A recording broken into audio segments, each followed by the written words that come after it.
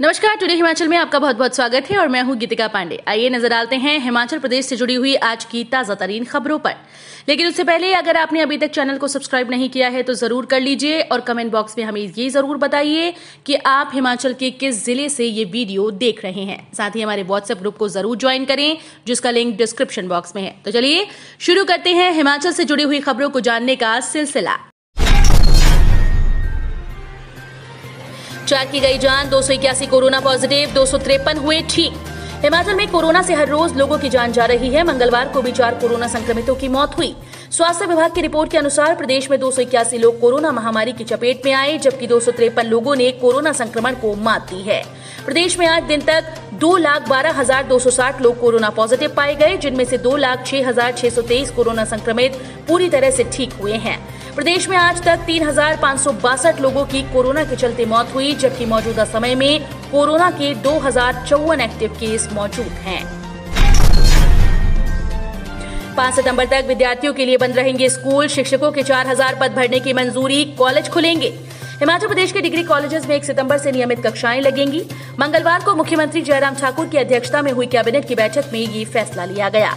वहीं अब पाँच सितंबर तक विद्यार्थियों के लिए स्कूल बंद रहेंगे। सरकार ने चार सितंबर तक स्कूल बंद रखने का निर्णय लिया है। पाँच सितंबर को रविवार का अवकाश है। कैबिनेट ने 30 अगस्त तक विद्यार्थियों के स्कूल आने पर लगाई रोक को एक सप्ताह के लिए और बढ़ा दिया। इस दौरान स्कूल में ऑनलाइन पढ़ाई जारी रहेगी। शिक्षकों और गैर शिक्षकों का स्कूल में आना अनिवार्य होगा। नवी से बारहवीं कक्षा के विद्यार्थियों की 4 सितंबर को फ़र्स्ट टर्म परीक्षा ऑनलाइन होगी। एक या दो सितंबर को दोबारा प्रस्तावित कैबिनेट बैठक में कोरोना संक्रमण के मामलों की समीक्षा करने के बाद स्कूल को विद्यार्थियों के लिए खोलने का आगामी फैसला लिया जाएगा। वहीं प्रदेश के स्कूल और कॉलेजेस में शिक्षकों की विभिन्न श्रेणियों के 4000 पद भरे जाएँगे। कैबिनेट ने प्रारंभिक शिक्षा में 2640 और उच्च शिक्षा में 1360 पद भरने को मंजूरी दी है। हिमाचल के इतिहास में पहली बार रात तीन बजे तक अनुराग ठाकुर ने की जनसभाएँ। केंद्र सरकार में सूचना और प्रसारण, युवा सेवाएँ व खेल मंत्री बनने के बाद पहली बार हिमाचल प्रदेश आगमन पर पाँच दिन तक चली अनुराग ठाकुर की जन आशीर्वाद यात्रा महतपुर में संपन्न हुई। हिमाचल प्रदेश के इतिहास में पहली बार ऐसा हुआ कि किसी नेता ने देर रात तीन बजे तक जनसभाएँ की हों। अनुराग ने सोमवार रात तीन बजे तक महतपुर में लोगों को संबोधित किया और उसके बाद कांगड़ा के लिए रवाना हुए। मंगलवार की सुबह गगल एयरपोर्ट पहुँचे और नई दिल्ली के लिए विमान में रवाना हुए। अनुराग ठाकुर की जन आशीर्वाद यात्रा बीते पाँच दिनों में चारों संसदीय क्षेत्रों के साथ अड़तीस क्षेत्रों से होकर गुजरी। अनुराग ने कहा कि इस दौरान उन्होंने 623 किलोमीटर का सफ़र किया और जगह जगह लोगों का भरपूर आशीर्वाद उन्हें मिला।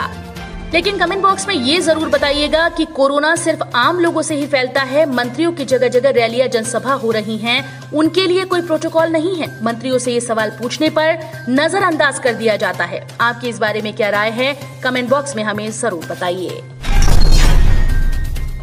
2555 एसएमसी शिक्षकों के लिए नीति बनाने को विधि विभाग से मांगी गई राय। हिमाचल प्रदेश के सरकारी स्कूल में नियुक्त 2555 एसएमसी शिक्षकों के लिए नीति बनाने को विधि विभाग से राय मांगी गई। मुख्य सचिव की अध्यक्षता वाली उच्च स्तरीय कमेटी के पास इस बाबत बीते दिनों प्रस्ताव पहुँचा था।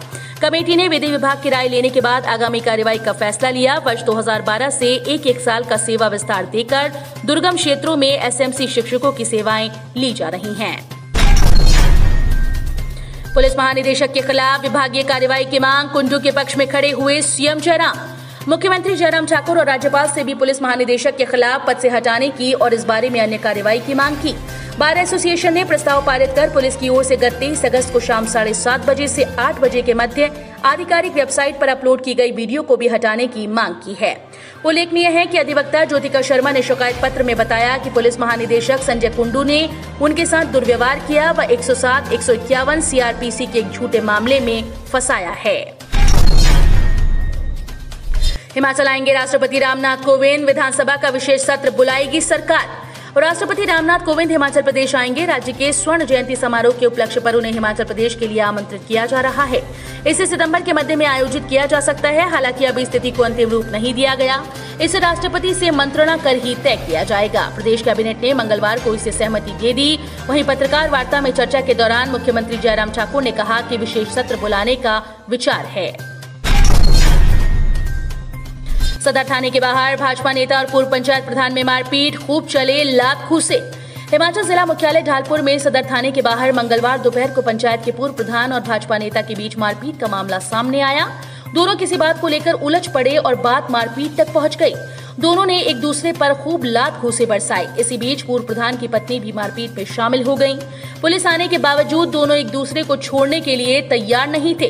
काफ़ी मशक्कत के बाद पुलिस इन्हें पकड़कर थाने ले आई। इस घटना का सोशल मीडिया पर वीडियो खूब वायरल हुआ। बदी में चालक की जल्दबाजी से पेट्रोल पंप में भड़की आग। हिमाचल प्रदेश के बद्दी में राष्ट्रीय मार्ग इलाहाबाद बैंक के सामने चालक की जल्दबाजी के कारण पेट्रोल पंप में आग भड़क गई। पाइप का नोजल गाड़ी में फंसने के कारण पंप सड़क पर गिर गया। सड़क पर तेल गिरते ही हुए शॉर्ट सर्किट से आग लग गई। पंप के कर्मचारियों ने आग तुरंत काबू पा लिया। इससे बड़ा हादसा होने से टल गया।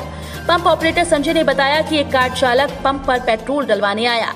जब कर्मी गाड़ी में तेल डाल रहा था तो कार चालक ने एकदम से गाड़ी आगे बढ़ा दी, जिससे मशीन की नोजल गाड़ी में फंसी रही और मशीन नीचे गिर गई। मशीन के गिरने से शॉर्ट सर्किट से आग फैल गई।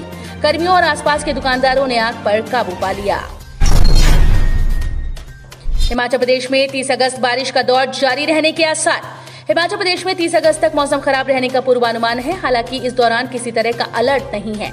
मौसम विज्ञान केंद्र शिमला के अनुसार 30 अगस्त तक प्रदेश के मैदानी मध्य व उच्च पर्वतीय भागों में बारिश के आसार हैं। वहीं प्रदेश में मंगलवार को मौसम मिला जुला रहा। कांगड़ा में 26, धर्मशाला में 8, मंडी में तीन नाहन में दो और हमीरपुर में डेढ़ मिलीमीटर बारिश दर्ज हुई है। यह अनुराग ठाकुर के पोस्टर पर पोती गई काले मचा बवाल। कांगड़ा बस अड्डा के समीप केंद्रीय मंत्री अनुराग ठाकुर के पोस्टर पर शरारती तत्वों ने काली कोट दी कांगड़ा मंडल बीजेपी ने कांगड़ा पुलिस स्टेशन में अज्ञात लोगों के खिलाफ इस मामले में लिखी शिकायत दी। वहीं बीजेपी कार्यकर्ताओं ने जल्द मामले की जाँच कर आरोपियों को पकड़ने की मांग की है।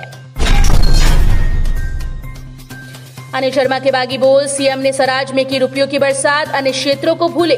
बीजेपी विधायक ने एक बार फिर से अपनी ही सरकार पर आग उगली है। इस बार आग की बारिश सीधे जयराम ठाकुर पर हुई।